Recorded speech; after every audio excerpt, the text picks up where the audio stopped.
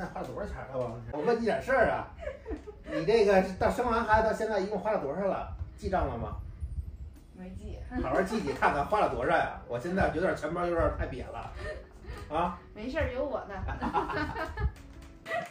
笑什么呀我？突然想起来早上的一个笑话，跟大家分享一下啊。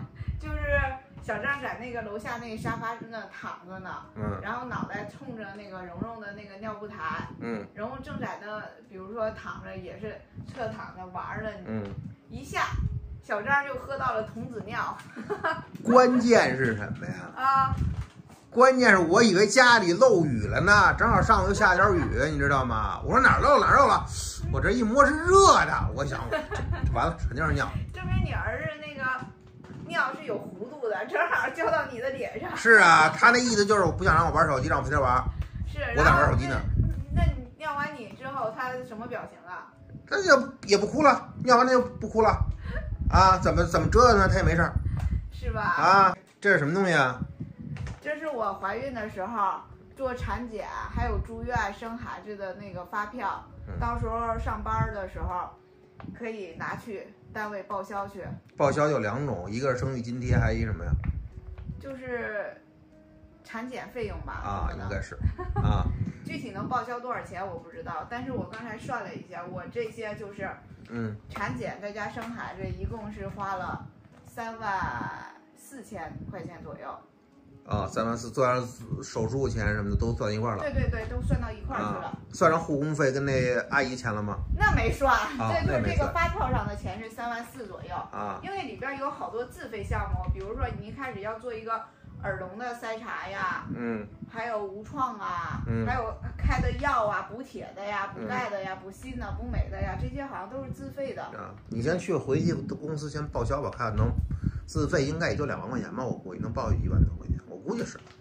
啊，啊那到时候看你准不准吧。你要嗯准了，我奖励你一点儿。那媳妇儿，你跟大家分享一下，从你住院到生完孩子到现在吧，啊，总共这开销我觉得应该是挺多的，因为从我这儿也出了很多，啊，就是刚才我说了一个，这个是三万四左右，嗯这只是怀孕的产检加住院生孩子的费用，剩下的就是我住院的时候五天，嗯一天五百块钱，护工嘛，嗯两千五百块钱，然后月嫂定了三个月，嗯然后第一个月是一万七，第二个月、第三个月稍微便宜一点儿，加一起也就差不多不到五万块钱。嗯，还有呢，另外就是最大的一笔开销就是给宝宝上了两个保险，嗯加一起是一个五万块钱，一个一万七，加一起是六万七千多。啊，另外他的社保对，三三千块钱，什么三千块钱一个一年三百来块钱儿 啊，那是十年的 啊，我给交了三千块钱。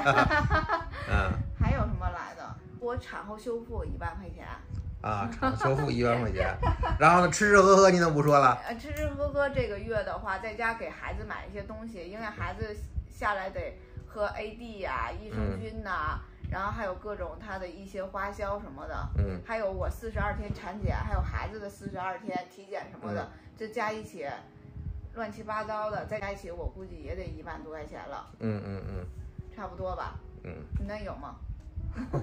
你问这问的啊，反正这两个月确实花的挺挺挺多。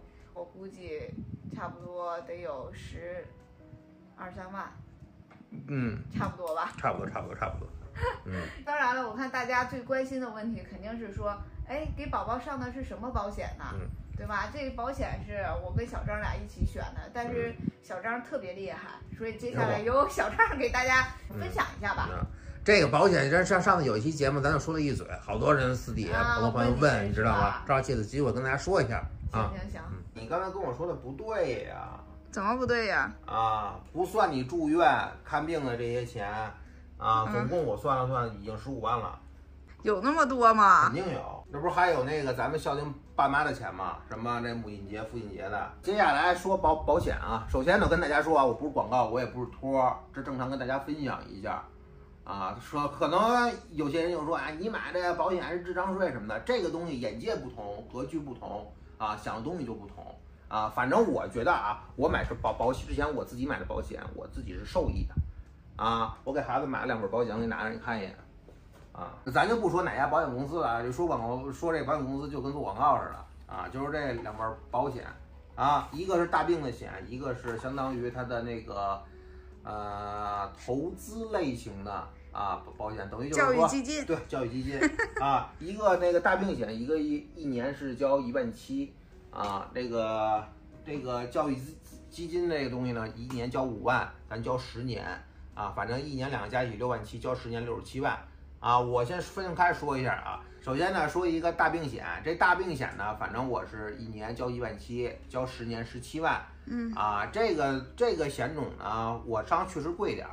啊，为什么？因为这个险到第十八年的时候，嗯。啊，你交的保费的三分之一已经返到孩孩子账户了，啊，然后等到第四十五岁的时候，剩下的三分之二啊，都已经返回到孩子上，等于还终身，啊，我觉得这是非常 OK 的，保你大病，一直保到最后。当然了，里边还赠一个万能账户，这万能账户，比如说你一年交啊一万七啊，然后呢，你要有闲钱呢，你可以最多往里存十倍，十七万。啊，十七万等于就是里边儿那复利滚滚存的意思嘛。嗯啊，里边儿反正现在目前的那个保保底的利息三点七，想什么时候存就什么时候存，想什么时候取什么时候取，也没有手续费，我觉得是很 OK 的。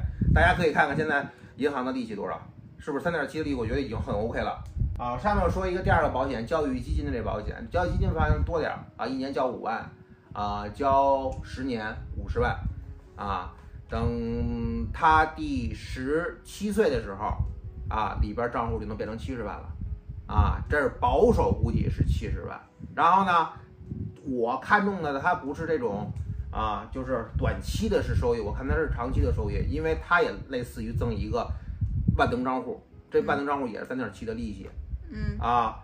那个想什么时候存什么时候存，想什么时候取什么时候取，里边最多能存五十万啊。刚才我也跟大家说了，银行的利息是多少，我就不不多说什么了，也没有什么意义啊。比如说，反正你到它第十七年到第二十年之间，如果你这个钱你不取出来的话，会越来越多啊。没准到他第二十年的时候，里边的呃，就是那个账户里的钱，没准到一百万了啊。你投资五十万，二十年变成一百万，你觉得合不合适？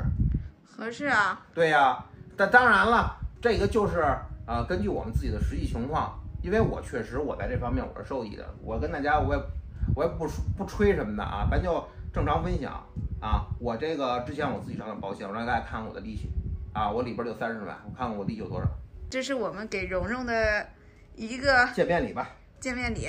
嗯 说的真好，小张，你现在我特别喜欢听你说话，又实在又那什么，有学识，哎呦呵，你给他棒棒棒的。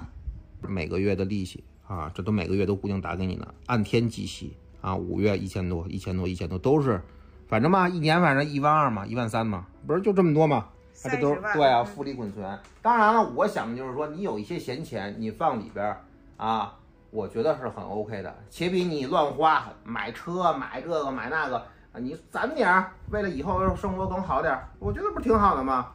对不对啊？是的，啊，我觉得这是非常有远见的一种那什么。你看，这是我受益，确实是受益的啊。大家可能会会又会抨击，啊，你买这保险，你们过几年这保险公司都倒闭了。我说你不要这么说话，你先买了咱再说。啊，每个人的想法不同啊，为什么它倒闭不了，是吧？我就不多说什么了啊。你所以呢，奉劝大家，你买买大的，你别买小保险公司，OK？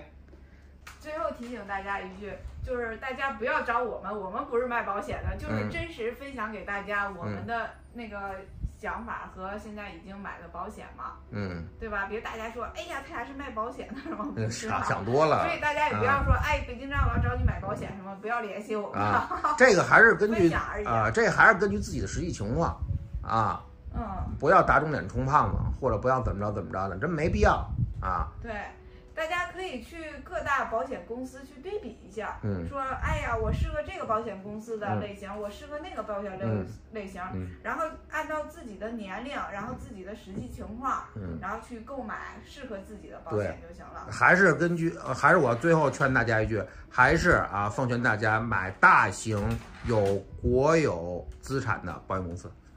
嗯是，嗯，真实分享啊。嗯，